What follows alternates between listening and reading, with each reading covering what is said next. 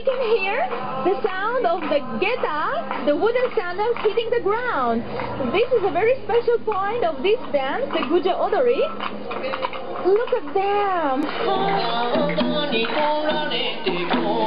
them!